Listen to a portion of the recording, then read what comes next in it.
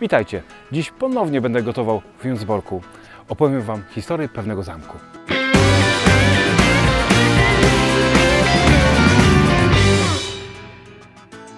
Zamek wybudowano w średniowieczu. Prusacy rozebrali go w XIX wieku. Początkowo miał być przebudowany na sąd, ale nie wszystko poszło zgodnie z planem. Co ciekawe, współcześni mieszkańcy Więcborka, że zamek nie był tylko legendą, dowiedzieli się dopiero w 2000 roku. Wówczas w berlińskim archiwum odnaleziono jego plany. To też bardzo ciekawa historia, ale teraz czas na gotowanie.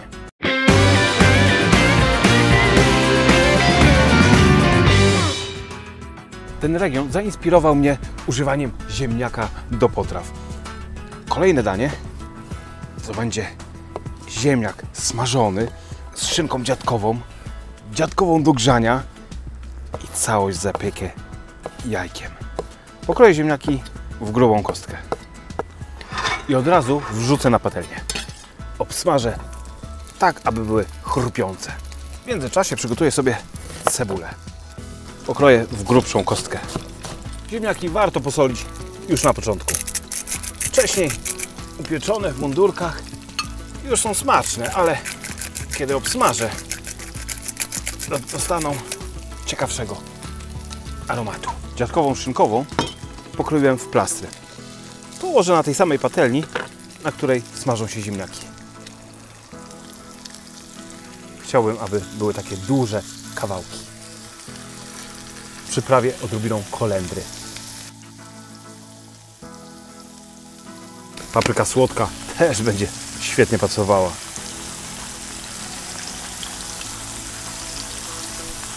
No i oczywiście majeranek.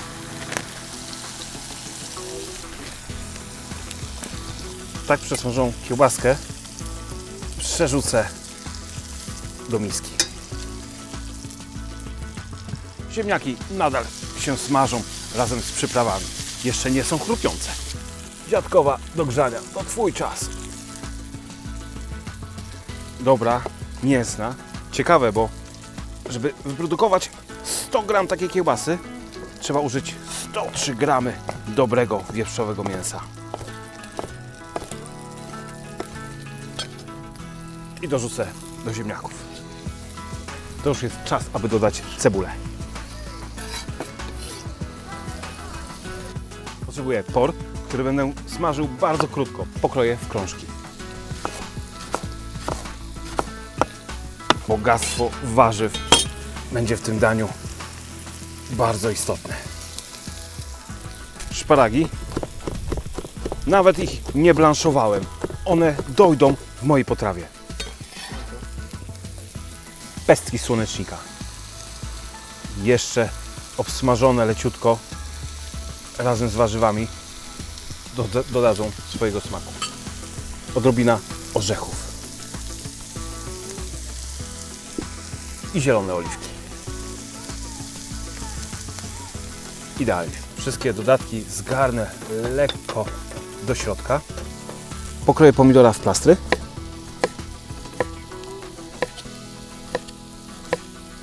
I ułożę na ziemniaki szynkową dziadkową na przemian z pomidorami.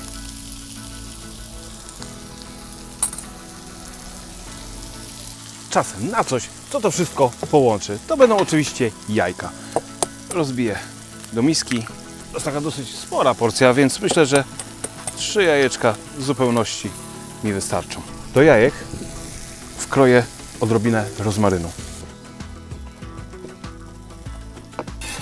I wrzucę do jajek. Listki szałwi. Uwielbiam jej smak. W połączeniu z ziemniakami jest po prostu doskonała. Niezbyt dużo, ponieważ jest bardzo intensywna. Tarty ser.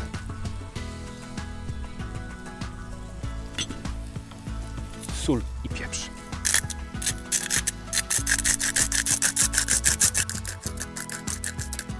Żeby nie zabrakło mi witamin, jeszcze troszeczkę świeżej pietruszki. Całość razem dobrze połączę i wszystko zaleję masą jajeczną serową. Zmniejszę ogień teraz będę powoli zapiekał. Oczywiście możemy to zrobić w piekarniku, ale ja bym chciał dokończyć historię Więcborskiego zamku. Historia średniowiecznego zamku nie jest dobrze znana. Wiadomo natomiast, że w 1556 roku Andrzej Zebrzydowski zniósł tutaj w Więcborku renesansową rezydencję. Jej lokator zrobił barwną karierę w kręgach kościelnych i państwowych. Był biskupem krakowskim, sekretarzem Zygmunta Starego i kapelanem królowej Bony.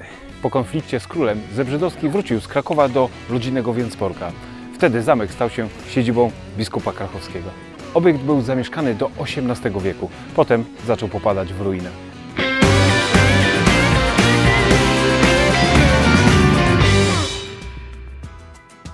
Wygląda genialnie. Zapiekła się. Złoty kolor pod spodem, lekko chrupiący. Ser się roztopił, jajka się ścięły, czyli wszystko tak jak należy. Na górę szczypiorek, rzodkiewka, kilka świeżych ziół, ulubionych listków ogrodowych, koperek na górę rozrzucony. Tak naprawdę to danie możemy jeść czy kroić jak pizzę. Odkroję przysłowiowy trójkąt i taki też ułożę na talerzu.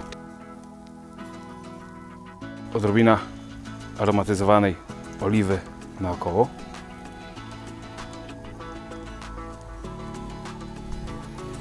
Świeże zioła i jeszcze pomidorek. Idealnie. I moje danie z ziemniaków i kiełbaskami. No i oczywiście wszystko zapiekane, gotowe. Naprawdę pachnie cudownie. Idę zjeść.